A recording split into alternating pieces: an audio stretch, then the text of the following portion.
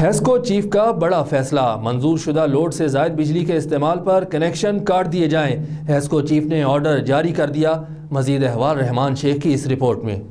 Chief executive officer HESCO Raham Ali اٹھو نے افسران کو ہدایت کی ہے کہ بجلی کنیکشنوں کا موجودہ لوڈ چیک کیا جائے واجبات کی عدم ادائیگی پر کنیکشن بلا تفریق منقطع اور بجلی چوروں کے خلاف ہنگامی بنیادوں پر کارروائی کی جائے۔ انہوں نے صارفین سے اپیل کی ہے کہ وہ اپنے ذمے ہیسکو واجبات جلد ادا کریں اور کنیکشن کا لوڈ بھی چیک کروا کر رجسٹر کرائیں۔ منظور شدہ لوڈ سے زیادہ بجلی استعمال کرنے والے صارفین کے کنیکشن کاٹ دیے جائیں گے۔ منظور شدہ لوڈ سے زیادہ بجلی کے استعمال سے ٹرانسفارمر جلد خراب ہو جاتے ہیں۔ انہوں نے کہا کہ گرمی کے موسم میں کنڈے ڈال کر اے سی چلانے کا رجحان بڑھ گیا ہے، جس کی وجہ سے ٹرانسفارمر جلنے کے واقعات میں اضافہ ہو رہا ہے، جو پورے علاقے کے لیے تکلیف کا سبب بنتا ہے۔ انہوں نے مزید کہا کہ ہیسکو کے وفاقی، صوبائی اور نجی صارفین پر اکسٹھ ارب چھتیس کروڑ واجبات ہیں۔ کیمرامین عبد الرزاق شیخ کے ساتھ رحمان شیخ، سٹی نیوز، حیدرآباد۔